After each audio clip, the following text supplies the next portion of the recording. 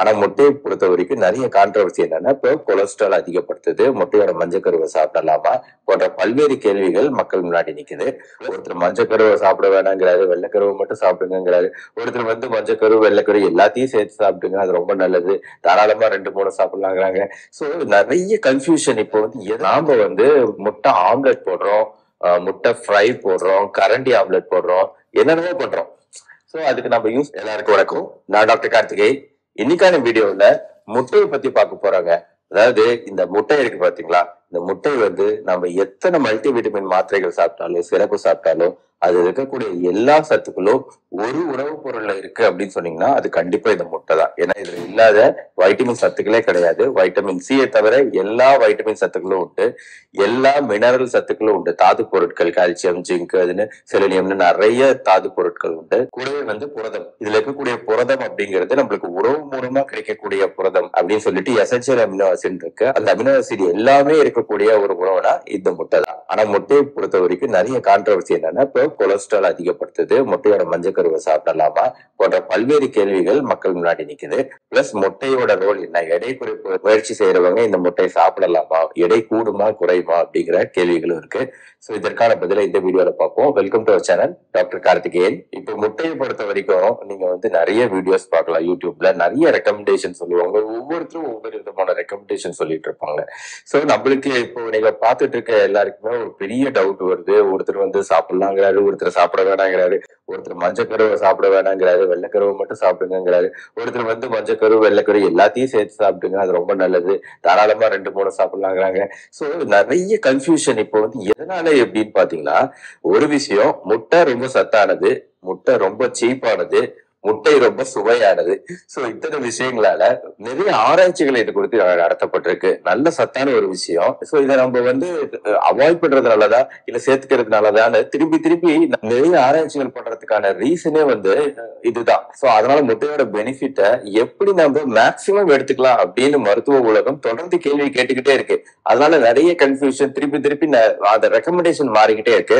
But என்னோட வருஷன் இன்னைக்கு நான் சொல்ல போறது இதுதான். முட்டை குறித்து பார்க்கும்போது ஃபர்ஸ்ட் நம்ம புரிஞ்சுக்க வேண்டிய முக்கியமான விஷயம் இந்த முட்டையை நம்ம சாப்பிடும்போது என்ன சத்துக்கள் இதுல இருக்கு அப்படிங்கறத நம்ம தெரிஞ்சுக்கணும். ஃபர்ஸ்ட் ஒரே ஒரு முட்டை. இந்த முட்டையை சாப்பிடும்போது இதுல நம்மளுக்கு கிடைக்கக்கூடிய மொத்த கலோரிகளோட எண்ணிக்கை எவ்வளவு தெரியுங்களா? எழுவத்தி நாலு கலோரிகள். அதாவது ஒரு மனுஷனுக்கு ஒரு நாளைக்கு தேவையான கலோரி எவ்வளவுன்னு பாத்தீங்கன்னா அரௌண்ட் ஆயிரத்தி எட்நூறுல இருந்து ரெண்டாயிரம் வரைக்கும் இருக்கு. ஸோ இந்த ஐடியாவை மனசுல வச்சுக்கோங்க.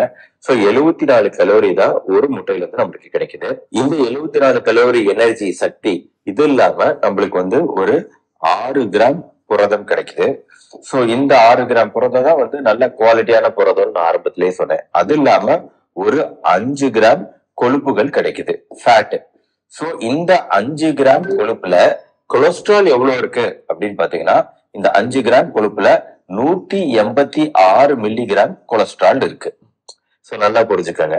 அடுத்து மாவுச்சத்து எவ்வளவு இருக்கு அப்படின்னு பாத்தீங்கன்னா ஜீரோ புள்ளி அஞ்சு கிராம் அதாவது மாவுச்சத்துங்கிறது ரொம்ப ரொம்ப கம்மி. முட்டையில ஜீரோ புள்ளி ஐந்து கிராம் தான் மாவுச்சத்து இருக்கு. சோ முக்கியமான சத்துக்கள் இதுதான். அது இல்லாம ஃபைபர் போன்ற நார்ச்சத்து இருக்கான்னு கேட்டீங்கன்னா முட்டையில அது கிடையவே கிடையாது. சோ இப்ப நம்ம மெயினா இப்ப நம்ம பாக்குறது இப்ப இந்த கொழுப்புகள்.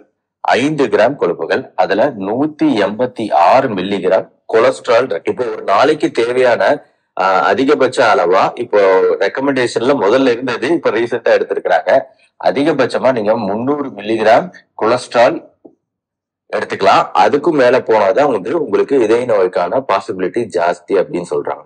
ஆனா உங்களுக்கு வந்து நூத்தி எண்பத்தாறு மில்லிகிராம் தான் கொலஸ்ட்ரால் ஒரு ஒரு முட்டையில இருக்கு. நல்லா புரிஞ்சுக்கோங்க. சோ அப்போ நல்லா தானே இருக்கு? அஹ், என்ன பிரச்சனை அப்படின்னு கேட்டீங்கன்னா பிரச்சனை இப்ப நான் சொல்றேன்.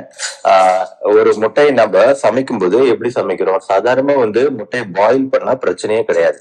ஆனா நம்ம பாயில் பண்றதுக்கு பதில நாம வந்து முட்டை ஆம்லெட் போடுறோம் ஆஹ், முட்டை ஃப்ரை போடுறோம் கரண்டி ஆம்லெட் போடுறோம் என்னென்னமோ பண்றோம். சோ அதுக்கு நம்ம யூஸ் பண்ணக்கூடியது ஆயில் இந்த ஆயில் வந்து நம்ம சப்போஸ் ஒரு ஒரு டீஸ்பூன் ஆயில் யூஸ் பண்றோம்னு வைங்களேன். ஒரு டீஸ்பூன் அப்படின்னா வந்து இது ஒரு டீஸ்பூன் இந்த ஒரு டீஸ்பூன்ல நம்மளுக்கு கிடைக்கக்கூடியது வந்து கிட்டத்தட்ட ஐந்து எம்எல் சரிங்களா? அஞ்சு எம்எல் ஆயில் யூஸ் பண்றோம். இல்லைன்னா ஒரு டேபிள் ஸ்பூன் யூஸ் பண்றீங்கன்னு வைங்களேன். ஒரு டேபிள் ஸ்பூன்னா நம்ம யூஸ் பண்ணக்கூடிய ஆயில் வந்து பதினஞ்சு எம்எல் பதினஞ்சு டு பதினேழு எம்எல் இது வந்து அஞ்சு டு ஆறு எம்எல் ஸோ நம்ம எவ்வளவு ஆயில் யூஸ் பண்றோங்கிறத நீங்க கொஞ்சம் மனசுல யோசிச்சு பாருங்க. நீங்க முட்டையை செய்யும் போது ஸோ இப்போ வந்து ஒரு அஹ், ஒரு ஒரு டீஸ்பூன் ஆயில் அதுல சேர்த்துறோம்னு வைங்களேன். அதாவது ஒரு டீஸ்பூன்னா என்ன சொன்னேன்னா அஞ்சு எம்எல் இந்த அஞ்சு எம்எல் ஆயில்ல எவ்வளவு கலோரி நம்மளுக்கு கிடைக்கும் அப்படின்னா கிட்ட ரஃபா வந்து ஐம்பது கலோரிகள் இதே வந்து ஒரு டேபிள் ஸ்பூன் யூஸ் பண்றோம் அப்படின்னா வந்து பதினஞ்சு எம்எல் சொன்னேன். ஸோ பதினஞ்சு எம்எல்னா நம்மள வந்து நூத்தி ஐம்பது கலோரி இங்க இருக்கும். ஸோ நூத்தி ஐம்பது கலோரி நம்ம முட்டையோட ஆயில் சேர்க்கறது மூலமா நம்மளுக்கு கிடைக்குது. கூடவே வந்து முட்டையோட எழுபத்தி நாலு கலோரி ஸோ இது ரெண்டு சேர்ந்துருச்சுங்களா? இப்போ வந்து ஒரு ரெண்டு முட்டை யூஸ் பண்றோம் அப்படின்னு வைங்களேன். ரெண்டு முட்டை யூஸ் பண்ணீங்கன்னா நூத்தி ஐம்பது கலோரி அது இல்லாம இது ஒரு நூத்தி ஐம்பது கலோரி அப்படின்னு சேர்த்தீங்கன்னா இந்த கலோரி மட்டுமே நம்மளுக்கு எவ்வளவு வருது? முந்நூறு கலோரிகள் வருது. சோ முட்டையை பொறுத்த வரைக்கும் நம்ம வந்து பாயில் பண்ணி சாப்பிடுறது பெஸ்ட் எப்ப நம்ம ஆயில் சேர்த்துறோமோ இந்த ஆயில்கள் சேர சேர அது என்ன டைப் ஆஃப் ஆயில் தெரியாது. அதுல நான் ஆயில் குறித்து பல ஒரு வீடியோவே போட்டிருக்கேன். ஒரு பெரிய வீடியோல இந்த சேச்சுரேட்டட் ஆயில்னா என்ன அன்சாச்சுரேட்டட் இதெல்லாம் சொல்லியிருக்கிறேன். சோ முட்டையை பொறுத்த வரைக்கும் நல்ல கொழுப்புகள் தான் இருக்கு. ஆனா நம்ம சேர்க்கக்கூடிய ஆயில் எந்த ஆயிலும் தெரியாது. அந்த ஆயில்ல எவ்வளவு கெட்ட கொழுப்புகள் இருக்கு அப்படின்னு தெரியாது. எவ்வளவு கொலஸ்ட்ரால் இருக்குன்னு தெரியாது. பட் ரஃபா வந்து ஒரு வெறும் ஒரு ஸ்பூன் ஆயில்ல வந்து நம்மளுக்கு ஏகப்பட்ட கலோரிகள் கிடைக்கும். ஏகப்பட்ட கொழுப்பு சத்தை நம்ம உடம்புக்கு சேருங்கிறத மட்டும் ஞாபகம் வச்சுக்கோங்க. சோ நம்ம வந்து ஆம்லெட்டாவும் ஃப்ரையாவும் பண்ணும்போது முட்டையில வந்து கொழுப்புகள் கெட்ட கொழுப்புகளும் சேர்ந்துடுது. நல்ல கொழுப்புகள் உள்ள முட்டையோட. சோ இந்த ரெண்டு காம்பினேஷன்ல நம்ம சாப்பிடும் போதுதான் நம்ம வந்து நம்மளுக்கு வந்து கொலஸ்ட்ரால் அப்படிங்கிறது ஜிவ்வுன்னு ஏறதுக்கான வாய்ப்புகள் அதிகமாகுது. இதய நோய் பிரச்சனைக்கான வாய்ப்பும் அதிகமாகுது. இப்ப இருக்கிற எந்த ஆயிலுமே மார்க்கெட்ல இருக்கிறத நம்ப முடியல. சோ அந்த ஒன்னு என்ன பண்ணலாம்னா சேஃபா பிளெயினா சேஃபா வந்து ஒரு முட்டை இதை வந்து பாயில் பண்ணி நம்ம யூஸ் பண்ணோம்னாலே போதும். வேவிச்சு சாப்பிட்டோம்னாலே அவிச்சு சாப்பிட்டோம்னாலே அதுல இருக்கக்கூடிய எல்லா சத்துக்களும் நமக்கு கிடைக்க போகுது. பிளஸ் முட்டையோட மஞ்சள் கருவுல தான் வந்து ஏகப்பட்ட சத்துக்கள் இருக்கு. அந்த வைட்டமின் மினரல் போன்ற ஃபர்ஸ்ட்ல நான் சொன்ன விஷயங்கள் எல்லாமே. புரதச்சத்து தான் வந்து வெள்ளை வெள்ளைக்கருவுல மெயினா அதிகமா இருக்கும். ஆனா மஞ்சள் கருவுல மீதி எல்லா சத்துக்களும் மஞ்சள் கருவுக்குள்ள இருக்கு. அதனால மு- முட்டையை வந்து நம்ம அப்படி டோட்டலா அவாய்ட் பண்ணவும் முடியாது. சோ ஒரு மருந்துக்கு ஈக்குவலண்டான ஒரு விஷயம் அப்படின்னு நான் சொல்றேன். அப்ப மருந்துக்கு ஈக்குவலண்டான ஒரு விஷயம்னா கண்டிப்பா நம்ம உணவுல சேர்த்துக்கிறதும் முக்கியம். சோ அதை நல்ல விதமா சேர்த்துக்கணும் அப்படின்னா இதை பாயில் பண்ணி சேர்த்துக்குங்க. சோ எத்தனை அந்த மாதிரி சேர்த்துக்கலாம். சோ எத்தனைங்கிறதுக்கு தான் நான் இப்ப இந்த கணக்கெல்லாம் போட்டு காமிச்சேன் உங்களுக்கு. ஒண்ணுங்கிறது பெஸ்ட் ஒரு நாளைக்கு ஒண்ணுங்கிறது தான் பெஸ்ட் இப்போ மூணு முட்டை சாப்பிடுறோம் அப்படின்னாலே மூணு முட்டையோட சேர்த்தா இதுவே வந்து ஒரு இருநூத்தி இருபத்தஞ்சு கலோரி அப்படிங்கிற அளவுக்கு நம்மளுக்கு அதுக்கு அதிக கலோரி இது இந்த முட்டையோட சேர்த்து வேற என்னென்ன சாப்பிடுறோமோ அது எல்லாமே கலோரி கணக்குல சேரும். சோ இருநூத்தி இருபத்தஞ்சு பிளஸ் ரெண்டு இட்லி சாப்பிடுறீங்க. நூறு பிளஸ் சாம்பார் சாப்பிடுறீங்க. அது ஒரு நூறு இப்படியே சேர்த்துக்கிட்டே போலாம். உங்களுக்கு புரியுதுங்களா? சோ அதனால இந்த கலோரி நம்மளுக்கு எவ்வளவு சொல்லியிருக்கு? ஒரு நாளைக்கு நூத்தி எம் ஆயிரத்தி எட்நூறு டு ரெண்டாயிரம். சோ நம்ம பிரேக்ஃபாஸ்ட் வந்து ஐநூறு கலோரிகள் எடுத்துக்கிறோம்னா அதுல வெறும் முட்டை மட்டுமே கிட்டத்தட்ட உங்களுக்கு வந்து ரெண்டு முட்டை அப்படிங்கறதே வந்து உங்களுக்கு நூத்தம்பது கலோரிக்கு மேல போயிடுது. அது இல்லாம கூட நம்ம சாப்பிடக்கூடிய விஷயங்கள். பிளஸ் சர்க்கரை நோய் இருக்கு அப்படின்னா வந்து கண்டிப்பா ரொம்ப அதிகமா தான் எடுக்கக்கூடாது ஏன்னா சர்க்கரை நோய் ஆல்ரெடி வந்து நம்ம ரத்த குழாய்களை டேமேஜ் பண்ணக்கூடிய ஒரு நோய். சோ அந்த சமயத்துல வந்து முட்டை எடுத்துக்கிறதுங்கிறது அதிகமா எடுத்துக்கிறதுங்கிறது நாட் அட்வைசபிள் ஆனா ஒண்ணு எடுத்துக்கிறது கண்டிப்பா முக்கியம். ஏன் முக்கியம்? சர்க்கரை நோயாளிகள் கூட முட்டை ஒரு நாளைக்கு ஒண்ணு வேக வைக்கப்பட்டது எடுத்துக்கணும்னா இந்த முட்டையில கூடிய அந்த சத்துக்கள் அந்த மாதிரி நம்ம மல்டி விட்டமின் டேப்லெட் கண்டிப்பா கொடுப்போம். எல்லா சர்க்கரை நோயாளிகளுக்குமே அந்த மாத்திரைகள் சாப்பிடும்போது கூடவே கண்டிப்பா வந்து இந்த மல்டி விட்டமின் டேப்லெட்ஸ் கொடுக்குறோம். சோ அதுக்கு பதிலா நீங்க காலையில நம்ம உணவுல வந்து இந்த காலை உணவு அது ரொம்ப முக்கியம். ஏன் காலையில சொல்றேங்கிறதுக்கு ரீசன் சொல்றேன். யாரா இருந்தாலும் அது சர்க்கரை இருக்கோ இல்லையோ எந்த வயதினரா இருந்தாலும் சரி காலையில ஒண்ணு அப்படிங்கிற அளவுல வாரத்துக்கு ஆறு முட்டை சாப்பிடுறது அப்படிங்கிறது எந்த வகையிலும் பிரச்சனை ஏற்படுத்துறது இல்லை அப்படின்னு எல்லா ஆராய்ச்சிகளையுமே சொல்லுது. அதாவது நிறைய ஆராய்ச்சிகள் high protein high egg intake low egg intake low egg இன்டேக்னா வாரத்துக்கு ரெண்டு முட்டை மட்டும் சாப்பிடுறவங்க. ஹை இன்டேக்னா வாரத்துக்கு பன்னெண்டு முட்டைக்கு மேல சாப்பிடுறவங்க. இந்த ரெண்டு குரூப்லாம் வச்சு நிறைய ஆராய்ச்சிகள் இந்த மாதிரி டிஃப்ரெண்ட் டிஃப்ரெண்டா ஆராய்ச்சி பண்ணுவாங்க. சோ ஒரு குரூப்புக்கு வந்து வெறும் முட்டை மட்டுமே கொடுத்து ஆராய்ச்சி பண்ணுவாங்க. அதாவது ஹேக் டயட்னே பேர் இதுக்கு. சோ அதாவது வேற எதையுமே சேர்த்துக்கிறது இல்ல. உணவுல வந்து கொஞ்சம் கொஞ்சம் சில விஷயங்களை மட்டும் சேர்த்துக்கிட்டு மெயினா முட்டை மட்டுமே வச்சு சாப்பிடக்கூடிய ஒரு குரூப்ல இருக்கிறாங்க. சோ அவங்க வந்து ஆல்ரெடி அதை ஃபாலோ பண்றாங்க. அவங்க மத்தியிலயும் ஆராய்ச்சி பண்ணி பார்த்துருக்காங்க.